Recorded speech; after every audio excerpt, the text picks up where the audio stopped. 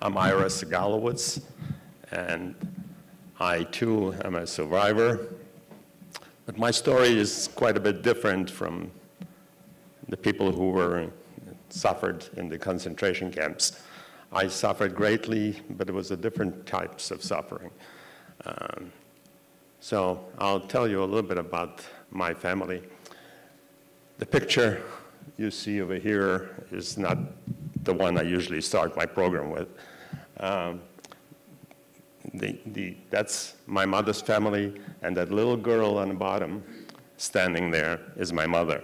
So it's a very old picture. It was taken in 1917, I mean 1817. Um, what, what, what I want to tell you is basically what happened to that family, what happened to my mother. This is jumping ahead.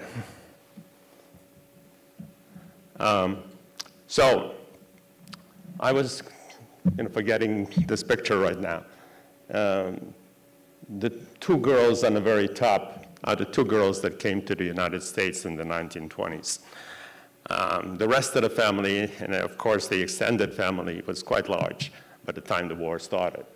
My mother grew up, my mother married, my mother had me, you know, so quite an extended family. And when I was quite young, World War II started. The, the Nazis occupied Poland in a blitzkrieg from all directions, and it didn't take them long to capture Poland. What you should be aware is that shortly before the war started, um, the Nazi regime of Germany and the USSR, Russia at the time, signed an non-aggression pact. Basically, the Nazis told the Russians, we're going to start a war, we're going to capture Poland, you guys sit back, don't interfere with us, and we'll give you part of Poland. And so the day the war started, the Nazis moved into Poland, the Russians moved their borders and took over part of Poland. And it so happened the area where I was born was annexed to Russia. The uh, Russians were, you know, humane occupiers. They had occupied Poland many times before, so it was not unusual um, to have the, the, the, Russians running the government. At that time, my father was taken into the army and uh, served in the army continued, you know, he was a barber, so he continued to be you know, barbering, you know, in, in the army. And, um, you know, shortly after the war started, you know, things got bad, but nevertheless, uh, everybody was much better on the, Pol on the Russian side than on the, on the German side. The German side of Poland and as soon as they came in, they, uh, they set up ghettos, concentration camps, and you know, murdered people left and right. And uh, you know, things, things became very bad. Uh, so even though the Russians and, and the uh, Nazis, the Germans, had a, a, a pact, Russia attacked, I mean, Poland, I'm sorry, Germany attacked Russia a year and a half after they attacked Poland. And all the Jewish people on the Russian side knew that as soon as the Nazis came in, they would be in, in peril, and so everybody looked for ways to escape.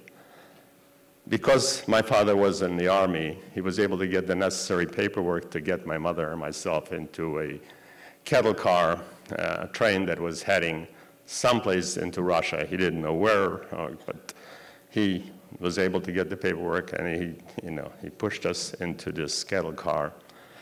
And shortly thereafter, the train began to move. And within half an hour after we left the station, a German airplane came and began to strafe the train. He was flying up and down and shooting at the train. The conductor stopped the train my mother and I jumped out of the train, as did everybody else. And uh, when we jumped out of the train, my mother fell. But I, being a young boy, continued to run. And according to my mother, when she looked up, uh, she saw me quite a distance away, and she saw something fall from the airplane. She saw a big explosion occur right near where I was. And she, at that point, got up and started running towards where she saw the explosion. And as she was running, she was screaming, you know, was hast du abgelost? She was speaking Yiddish to me. My first language was Yiddish. And she was saying, why did you let go of my hand? Why did you let go of my hand? And she finally came um, to the crater and saw a, a uh, rim of dirt. And laying beside the rim, she found me. She, like, you know, went down and she shook me, kept shaking me. And at that, at one point, I opened up my eyes and said, "Why you, why you, why are you screaming, mommy? Why are you screaming?" Well, she hugged me so hard, uh, I can still remember that, that hug.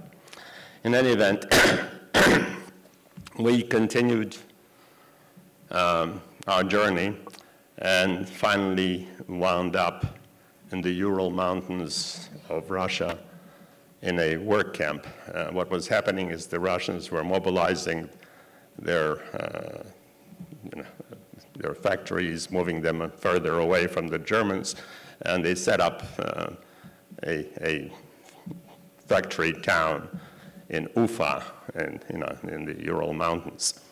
And uh, we were assigned to a barracks that was very long, uh, wasn't insulated. It was uh, each, we had little cubicles, you know, about nine by nine. And uh, my mother, myself, and another family, the Gorky family, were assigned to this. Uh, so it was five of us in, in a nine by nine area. And the only thing we had in that room were two straw mattresses, basically pillowcases stuffed with straw. And um, the other thing was a bucket. We had a bucket. That was our toilet. toilet. And so um, all the people in the camp, all the, all the women, was primarily women, um, had to work. Uh, and they, uh, they had to perform. They had a quota to perform. And so, um, you know, if you were making guns, you had a certain amount of guns you had to make, or bullets, you know, a certain amount of bullets. And so if you uh, performed, you got paid at the end of the month. And if you exceeded the quota, you got a reward every second week. And uh, so every second week we used to get uh, um, a, a, black bread that my mother used to uh, bring to the barracks. And she would cut it up into 14 pieces and she would put it on the windowsill and she would say, this is for Monday, this is for Tuesday, you know, and we uh, survived by knowing primarily that we had a piece of bread each day. Now, as I said, everybody got paid, and the payment was in the form of a sack of potatoes and about 10 pounds of flour. And you had to survive on, on that for, for a month. And that's two of us to survive on that for a month. So, but uh, we kept surviving, kept, uh, you know, doing the best we could. Uh, my mother, whenever she would come back from work, that's what she looked like. That's not my mother, by the way, but that's what she looked like. She, she, that's my memory of, you know, of her. And she had to walk about a kilometer, you know, from where the factory was to the barracks where we were in. And, uh, you know, she, she did her best to, to survive. Um, one day she came in and she was sitting there, you know, we would cover her up with the mattress and she would shiver and we noticed that her finger became black and, and that it was growing. The, the, the injury, the blackness was going, moving. And so the finger had to be amputated uh, shortly thereafter. Um, otherwise, you know, was, she was frostbitten. And the temperature in the Ural Mountains is for about nine months or so, it's below zero. The rest of the time, it's still not, still pretty close to zero. So, um, but we get, kept on surviving and kept going. Um, uh, finally, um, we, the war ended, and we started walking back to our town, to back to Poland from the Ural Mountains in Russia. And so we walked for thousands of miles, uh, living off the land, uh, eating whatever we could, finding potatoes, uh, finding roots to eat, and uh, we uh, finally came to Sarny, only to find the, the town totally demolished. Um, the Nazis had come through, they uh, destroyed the whole town. Um, we also learned that as soon as the Nazis came into town, they set up a concentration camp and had rounded up uh, 14,000 Jewish and other people, you know, Jehovah's Witnesses, uh, gypsies, uh, people of uh, color, uh, all kinds of, people that they didn't like. And uh, uh, finally, they decided to, to liquidate the camp. And so they set up machine guns around the camp and they murdered most of the people in the camp. And some of them survived, uh, about a hundred or so survived. And, you know, uh, but life was tough for them. Uh, we, as I say, um, were in Sarny, no house, no food, no nothing, and what do you do? Well, luckily, the US Army had set up DP camps throughout Europe, displaced persons camps throughout Europe. Uh, the camps were set up by, were by destination. If you wanted to go to Canada, you went to a camp that's designated for Canada, one for the United States, another one for uh, another country. But in order to get into those camps, uh, you had to have some proof that uh, you have family in that country. And in our case, we didn't have any kind of proof. Everything we had was lost. Um, and so um, the, only, the only camp that was set up and that would take us was a camp for Israel, for Palestine at the time. And so uh, that camp was in Hallein by Salzburg in Austria. So again, we began to walk from Poland, Czechoslovakia, down, down all the way to Austria. And we finally got to the camp, and uh, that was, you know, like heaven compared to what it was, you know, I mean, uh, the Army provided us with food, the Army provided us with, uh, uh, with clothing, you know, we, and heat in the barracks, you know, and, uh, and for the first time in, in five years, I actually slept on a cot rather than on the floor. Uh, so things, things were extremely good.